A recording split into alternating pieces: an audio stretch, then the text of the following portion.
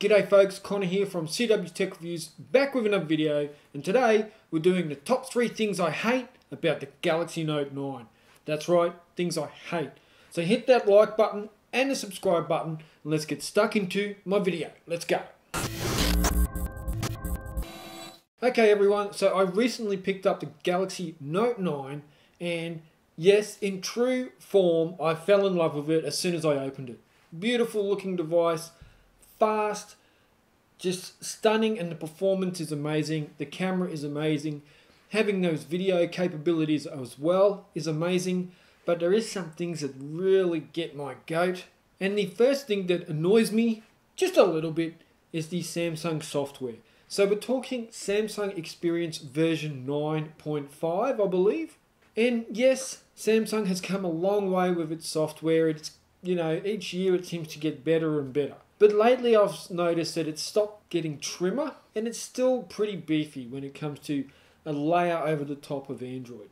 Now a lot of these are features and features I truly love and the S Pen wouldn't work as well without Samsung Experience plastered over the top of Android.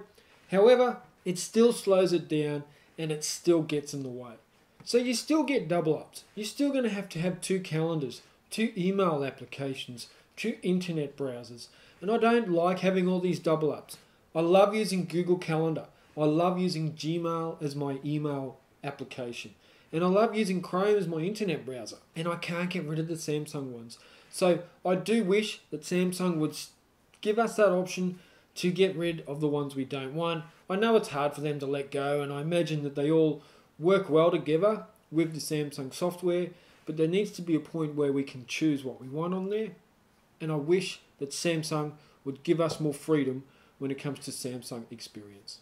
Number two on my list of things I do not like about the Galaxy Note 9 is the battery. Now you all look at me like you're a little bit astounded because yes, we have a 4000 milliamp hour battery here, but I cannot get through a full day without having to put it on charge. Now, some of this might be paranoia. I put it on charge when I get to around 30%, but I do spend most of my evenings on my phone, whether it's watching YouTube or Netflix or studying or working, I'm using my phone. And I don't want to have that panic in the background that I'm going to run out of battery. And that's what I get with this 4000 milliamp hour battery.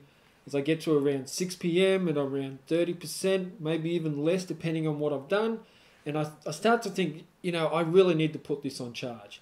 Now, thankfully, we have quick charging and we can charge it up rather quickly, but I certainly do struggle to get through the day. Do I go overboard with my battery use? I don't really think so. So I get up around 5am and I watch about 20 minutes of YouTube or some form of media, check my emails and do social media and that sort of thing.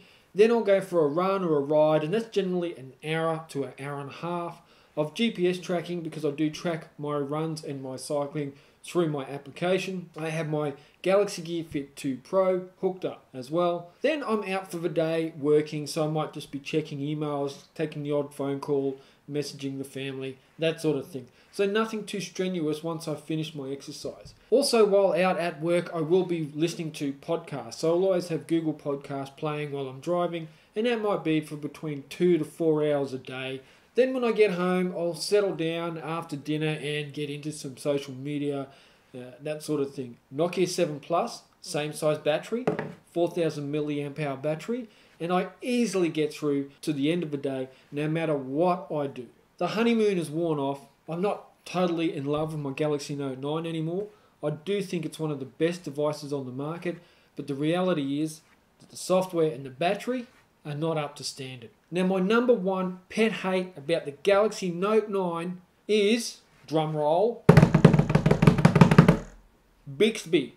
I cannot stand Bixby. It should never have been bought out. It should not be on my device. It should not be on any device anywhere in the world. I don't care how much Samsung pays people to say it's good, it's terrible.